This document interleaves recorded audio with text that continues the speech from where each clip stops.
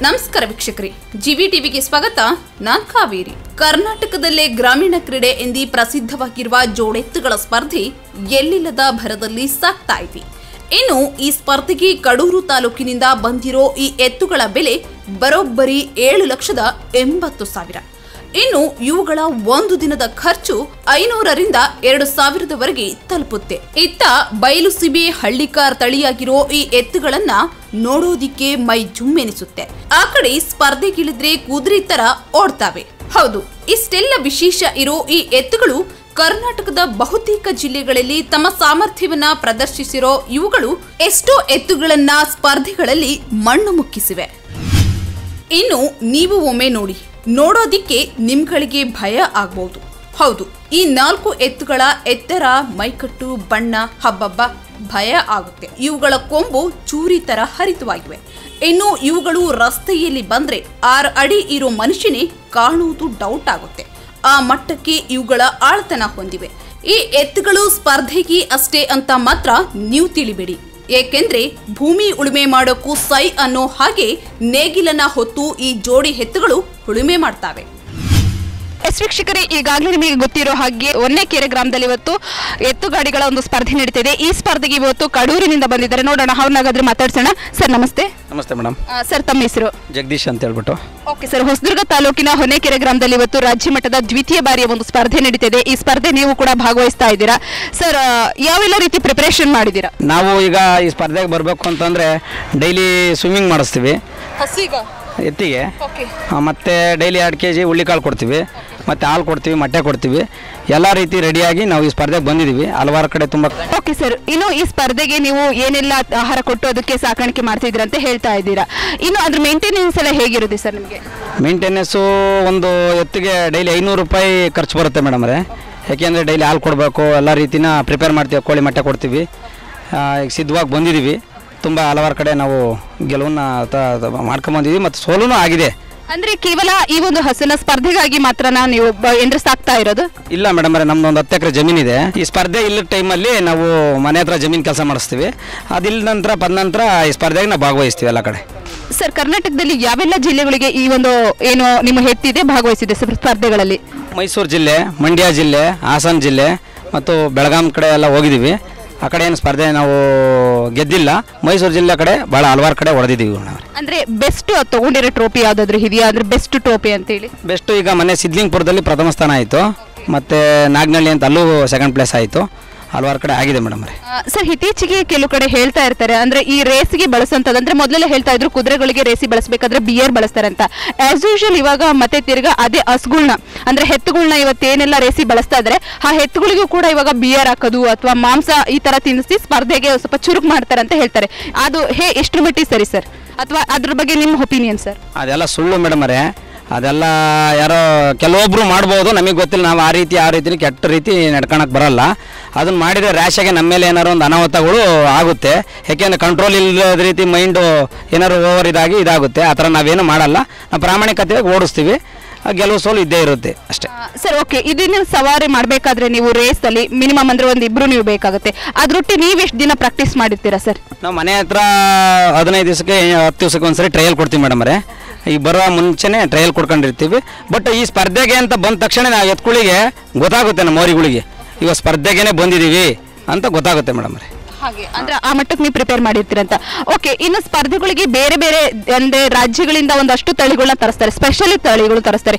ನೀವು ಇದನ್ನ ಎಲ್ಲಿಂದ ಖರೀದಿ ಮಾಡಿದ್ದು ಸರ್ ನಾವು ಶ್ರೀರಂಗಪಟ್ಟಣದಿಂದ ತಂದಿದ್ದು ಮೇಡಮ್ ರವಿಕುಮಾರ್ ಅಂತ ಅವ್ರ ಹತ್ರ ಏಳು ಲಕ್ಷದ ಎಂಬತ್ತು ಸಾವಿರ ರೂಪಾಯಿ ಕೊಟ್ಟು ದೌಲತ್ ವಿಲನ್ ಅಂತ ಈಗ ಎಂಟು ದಿವಸ ಮುಂಚೆ ನಾವು ತಗೊಂಬಂದಿದ್ದೀವಿ ಅಂದ್ರೆ ಒಂದು ಸಿಂಗಲ್ ಹೆತ್ತುಗಳಿಗೆ ನೀವು ಏಳು ಲಕ್ಷ ಸಮಥಿಂಗ್ ಇಲ್ಲ ಮೇಡಮ್ ಅವರೇ ಜೊತೆ ಏಳು ಲಕ್ಷದ ಎಂಬತ್ತು ಸಾವಿರ ರೂಪಾಯಿ ಕೊಟ್ಟು ತ ಖರೀದಿ ಮಾಡಿದ್ದೀವಿ ಅಂದ್ರೆ ಮೊಟ್ಟ ಮೊದಲ ಬಾರಿಗೆ ಇಲ್ಲೇ ಅದು ಅದು ಅಂದ್ರೆ ಸ್ಪರ್ಧೆಗೆ ಎಳಿತಾ ಇರೋದು. ಹೌದು ಮೇಡಮ್ ಅವರೇ ಇದು ಮುಂಚೆನೆ ಆಲ್ರೆಡಿ ಎರಡು ವರ್ಷದಿಂದ ಸಾಕ್ತಿದೆ ಶ್ರೀರಂಗಪಟ್ಟಣದಲ್ಲಿ. ಅಂದ್ರೆ ಸ್ಪರ್ಧೆಗಾಗಿ ನೀವು ಎರಡು ವರ್ಷದಿಂದ ಸಾಕ್ತಾ ಇದ್ರಿ. ಈ ಒಂದು ಪ್ರದೇಶಕ್ಕೆ ಮಾರಾಟ ಮಾಡಿ ಆದ್ಮೇಲೆ ಇವ್ರ ಭಾಗದಲ್ಲಿ ಇದು ಮೊಟ್ಟ ಮೊದಲ ಬಾರಿಗೆ.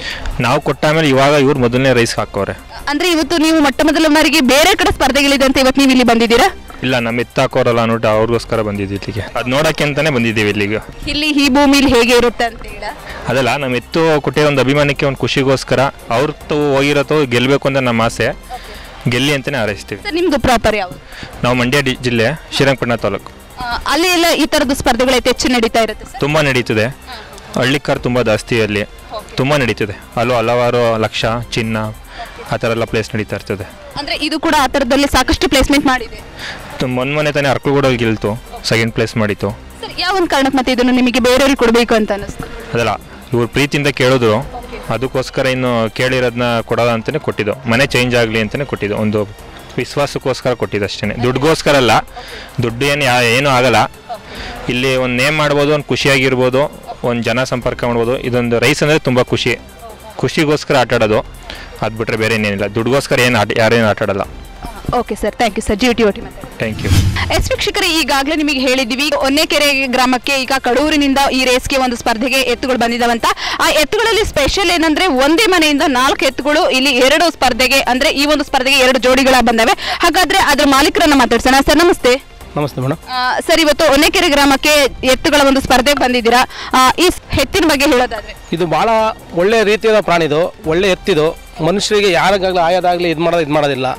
ಇದು ನಾವು ಧಾರವಾಡದಿಂದ ತಗೊಂಡಿದ್ದು ಇದು ತಗೊಂಡು ಬಂದಮೇಲೆ ಫಸ್ಟ್ ಪೇಜು ಮೈಸೂರಲ್ಲಿ ಮಾಡಿದೆ. ಎರಡನೇ ಪೇಜು ಬೇಲೂರಲ್ಲಿ ಮಾಡ್ತು. ಹಾಗಾಗಿ ಈಗ ಈ ಕಾರಣದಲ್ಲೂ ಮಾಡಬೇಕು ಅಂತೇಳಿ ನಮ್ಮ ಹುಡುಗರಿಂದ ಕೇಳ್ಕೊಂಡು ಎಲ್ಲ ಇದು ಮಾಡ್ಕೊಂಡು ಎತ್ತಕ ಬಂದಿದ್ದೀವಿ ಇಲ್ಲಿ ಮೇಡಮ್. ಸರ್ ಅದಕ್ಕೆ ಡೈಲಿ ನೀವು ಏನೆಲ್ಲ ಫುಡ್ ಕೊಡ್ತಾ ಇರ್ತೀರಾ ಸರ್ ಮಾಮೂಲಿ ಮೇಡಮ್ ಎರಡು ಲೀಟ್ರ್ ಹಾಲು ಮೊಟ್ಟೆ ನಾಟಿ ಕೋಳಿ ಮೊಟ್ಟೆ ಹುಳ್ಳಿಕಾಳು ಮತ್ತು ಸಂಜೆ ವಾಕು ಆಮೇಲೆ ಈಜು ಓಡಿಸೋದು ಇದೇ ಕೆಲಸ ಅದ್ರ ಪ್ರತಿನಿತ್ಯ ಮಾಡ್ತಾ ಇರ್ತೀವಿ. ಎರಡು ದಿನಕ್ಕೆ ಒಂದ್ಸತಿ ಈಚ್ ಮಾತ್ರ ಓಡಿಸ್ತೀವಿ. ಎರಡು ದಿನಕ್ಕೊಂದ್ಸರಿ ಕಂಪಲ್ಸರಿ ಈಜು ಈಜು ಓಡಿಸ್ತೀವಿ ಮೇಡಮ್. ಓಕೆ ಸರ್ ಇನ್ನು ಇದಕ್ಕೆ ಮೇಂಟೆನೆನ್ಸ್ ಏನಾದರೂ ಕಷ್ಟ ಅನ್ಸುತ್ತಾ ನಿಮಗೆ? ದುಬಾರಿ ಅನ್ಸುತ್ತಾ? ಇಲ್ಲ ಮೇಡಮ್ ದುಬಾರಿ ಇಲ್ಲ ಸರ್. ರಾಗಿ ಹುಲ್ಲು ಸಪ್ಪೆ ಮಾಮೂಲಿ ನೀವೇನು ಹಾಕ್ತೀವಿ ಅದು ಹಾಕ್ತೀವಿ. ಅದು ತಿನ್ನುತ್ತೆ ನಿನ್ನ ತಿಂಡಿ ಒಂದು ಮಾತ್ರ ಎರಡೆರಡು ಕೆ ಜಿ ಇಡ್ತೀವಿ ಮಾತ್ರ. ಓಕೆ ಸರ್ ಅಂದ್ರೆ ಇನ್ನು ಈ ಭೂಮಿ ಸಂಬಂಧಪಟ್ಟಾಗೆ ಕೆಲವು ಮಣ್ಣುಗಳಲ್ಲಿ ಹಸುಗಳು ಓಡೋದಿಕ್ಕೆ ಆಗೋದೇ ಇಲ್ಲ. ಹಾಗಾದ್ರೆ ಈ ಹಸು ಎಲ್ಲ ಭೂಮಿಗೂ ಕಂಫರ್ಟಬಲ್ ಇದೆಯಾ? ಹ್ಞೂ ಮೇಡಮ್ ಅದಿದೆ. ಕಂಫರ್ಟ್ ಇದೆ. ಎಲ್ಲ ಕಂಪ್ಲೀಟ್ ಇದೆ ಕರ್ನಾಟಕದಲ್ಲಿ ಯಾವೆಲ್ಲ ಜಿಲ್ಲೆಗಳಿಗೆ ಇದು ಸ್ಪರ್ಧೆಯಲ್ಲಿ ಭಾಗವಹಿಸಿದೆ ಸರ್ ಇದು ಮೈಸೂರು ಮಂಡ್ಯ ಬೇಲೂರು ಹಳೆಬೇಡು ಈಗ ಅಜ್ಜಂಪುರ ಹಲವು ಕರ್ನಾಟಕದಲ್ಲಿ ಎಂಟು ರೈಸಲ್ಲಿ ನಾವು ಓದಿ ಮೇಡಮ್ ಅಂದ್ರೆ ಕೇವಲ ಇದನ್ನ ರೇಸ್ಗೋಸ್ಕರ ಬಳಸ್ತಾ ಇದೀರಾ ಅಥವಾ ಮನೆದು ವ್ಯವಸಾಯ ಜೊತೆಗೆ ರೇಸ್ಗೆ ಏನಾದ್ರು? ಇಲ್ಲ ಮನೆ ಕೆಲಸ ವ್ಯವಸಾಯ ಇಲ್ಲ ಅಂದ್ರೆ ಈ ಥರ ಮಾಡ್ಕೊಂಡು ಇಲ್ಲ ಅಂದ್ರೆ ರೈಸ್ ಇದ್ದರೆ ರೈಸಿಗೆ ಹಾಕ್ತೀವಿ ಮೇಡಮ್ ಹಾಗೆ. ಅಂದ್ರೆ ಯಾವ್ದ ಎಲ್ಲ ತರದ ಕೆಲಸಗಳಿಗೂ ಕೂಡ ನೀವು ಇದನ್ನ ಪ್ರಿಪೇರ್ ಮಾಡಿ ಪ್ರಿಪೇರ್ ಮಾಡ್ಕೊಂತೀವಿ. ಈ ಹೊಲಕ್ಕೆ ಹೋಗೋದು ಆಮೇಲೆ ಸಪ್ಪೆ ಗಿಪ್ಪೆ ಆದರೆ ಗಾಡಿ ಹೊಡ್ಕೊಂಡು ಹೋಗೋದು ಹೊಡ್ಕೊಂಬರೋದು ಆ ಥರ ಎಲ್ಲ ವ್ಯವಸ್ಥೆ ಅದಕ್ಕೆ ಟ್ರೈನಿಂಗ್ ಅದೇ ಥರ ಆಗುತ್ತೆ. ರೋಡಲ್ಲಿ ಹೋಗೋದು ಗಾಬರಿ ಆಗತ್ತೆ ಏನೂ ಇಲ್ದಲೆ ಅದಕ್ಕೊಂದು ರೀತಿಯಲ್ಲಿ ಟ್ರೈನಿಂಗ್ ಕೊಡ್ತೀವಿ ಅಲ್ಲಿ. ಓಕೆ ಸರ್ ಇನ್ನು ಕೆಲವು ಎತ್ತುಗಳನ್ನು ನೋಡಿದಾಗ ಕೇವಲ ಪರ್ಟಿಕ್ಯುಲರಿ ಪೀಪಲ್ ಅಂದ್ರೆ ಪರ್ಟಿಕ್ಯುಲರಿ ಜನಗಳಿಗೆ ಮಾತ್ರ ಅದು ಕಂಫರ್ಟ್ ಝೋನ್ ಆಗಿರುತ್ತೆ. ಅಂದ್ರೆ ಅದನ್ನ ಆಗಿರ್ಬೋದು ಅದನ್ನ ಆಗಿರ್ಬೋದು ಕೆಲವರು ಮಾತ್ರ ಹಾಗಿರುತ್ತೆ. ಇನ್ನು ಕೆಲವರು ಅದು ಹತ್ರ ತಾಗಿಸ್ಕೊಳ್ಳೋದಿಲ್ಲ. ಆ ಒಂದು ನಿಟ್ಟಿನಲ್ಲಿ ಹೇಗಿದೆ ಸರ್ ಈ ಮೇಡಮ್, ಇದು ನಮ್ಮ ಹುಡುಗರಲ್ಲಿ ಒಂದು ನಾವು ಒಂದು ಇಪ್ಪತ್ತು ಜನ ಇದ್ದೀವಿ. ಆ ಇಪ್ಪತ್ತು ಜನಕ್ಕೂ ಹೊಂದ್ಕೊಂಡಿದೆ. ಆ ಒಂದು ಇಪ್ಪತ್ತು ಜನಕ್ಕೂ ಯಾರು ಹೋದ್ರು ಅದಕ್ಕೇನು ಮಾಡಲ್ಲ ಅದು. ಅದ್ರ ಕಾಲಿಡ ನುಸ್ತಾಡಿದೇನು ಮಾಡಲ್ಲ, ಆರಾಮ ನಿಲ್ಲುತ್ತೆ, ಮೇವಾಗ್ತಾರೆ, ಕುಡಿಸ್ತಾರೆ, ಎಲ್ಲ ನೀರು ಕಟ್ತಾರೆ. ಅದೊಂದು ನಮ್ದು ಇದೊಂದು ಇದೆಯಲ್ಲ ಅದೊಂದು ಮಾತ್ರ ಯಾರು ಇಲ್ಲ. ಒಂದು ಇಬ್ಬರಿಂದ ಮೂರು ಜನ ಹಿಡ್ಕೊಬೇಕು ಅದನ್ನ. ಅದೊಂದು ಮಾತ್ರ ಇದಷ್ಟೇ ಇದ್ರ ಬಗ್ಗೆ ಏನಿದೆ? ಇವೆರಡರ ಬಗ್ಗೆ ಆರಾಮ ನಿಲ್ಲಿರ್ತಾರೆ ಅಲ್ಲಿ ಯಾರು ಬೇಕಾದ್ರೂ ಕಟ್ತಾರೆ. ಓಕೆ ಸರ್ ಇನ್ನು ಈ ಒಂದು ಹಸುನ ಪರ್ಟಿಕ್ಯುಲರ್ ಈ ಹಸುಗಳಿಗೆ ನೀವು ಯಾವ ಜಾಗದಿಂದ ತರಿಸಿದ್ದು?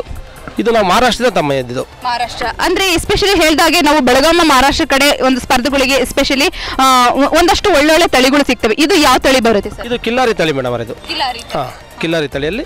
ಇದು ಅಲ್ಲಿಂದ ಅಲ್ಲಿ ಪ್ರೈಸ್ ಮಾಡಿದ್ದು ಕುದುರೆ ಜೊತೆ ಓಡಿ ಅಲ್ಲಿಂದ ನಾವು ಖರೀದಿ ಮಾಡ್ಕೊಂಡು ಬೇಕೇ ಅಂತೇಳಿ ಮೇಲೆ ಇಲ್ಲಿ ಎರಡು ಪ್ರೈಸ್ ನಮಗೆ ಮಾಡಿಕೊಟ್ಟಿದೆ. ಅಂದ್ರೆ ಈ ಮುಂಚೆ ಅದು ಸ್ಪರ್ಧೆಗಿತ್ತು ನೀವು ನೆಕ್ಸ್ಟ್ ನಿಮಗೆ ಬೇಕು ಅಂತ ಸ್ಪರ್ಧೆ ಅಲ್ಲಿಂದ ತಗೊಂಬಂದು ಅಷ್ಟೇ. ಮೇಲೆ ಸ್ಪರ್ಧೆ ಮಾಡ್ತಿತ್ತಲ್ಲ?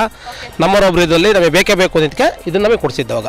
Okay sir G V T ಒಟ್ಟು ಮಾತಾಡ್ತಿದ್ದೀನಿ ನೋ ಥ್ಯಾಂಕ್ ಯು ಮೇಡಮ್ ಒಟ್ಟಾರೆ ಮೈಸೂರು ಮಂಡ್ಯ ಹಾಸನ ಬೆಳಗಾಂ ಕಡೂರು ಅಜ್ಜಾಂಪುರ ಹೀಗೆ ಎಲ್ಲ ಕಡೆ ಹೋಗಿ ಸ್ಪರ್ಧೆಗೆ ಭಾಗವಹಿಸಿರೋ ಈ ಜೋಡೆತ್ತುಗಳು ಸ್ಪರ್ಧೆಯಲ್ಲಿ ಸ್ಥಾನವನ್ನ ಗಿಟ್ಟಿಸಿಕೊಳ್ಳುವ ಮೂಲಕ ತಮ್ಮ ಮಾಲೀಕರ ಪ್ರತಿಷ್ಠೆಯನ್ನ ಮತ್ತಷ್ಟು ಹೆಚ್ಚಿಸಿವೆ.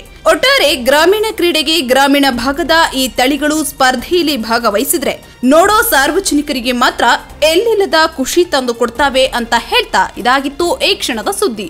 ಹೀಗೆ ಮತ್ತಷ್ಟು ಸುದ್ದಿಗಾಗಿ ನೋಡ್ತಾ ಇರಿ ನಿಮ್ಮ ನೆಚ್ಚಿನ ಜಿವಿ ಟಿವಿ. ಇದು ಪ್ರಾದೇಶಿಕ ಸುದ್ದಿ ಮತ್ತು ಮನರಂಜನಾ ವಾಹಿನಿ. ಕ್ಯಾಮ್ರಾ ಪರ್ಸನ್ ಲೋಕೇಶ್ ಜೊತೆ ಕಾವೇರಿ, ಜಿವಿ ಟಿವಿ.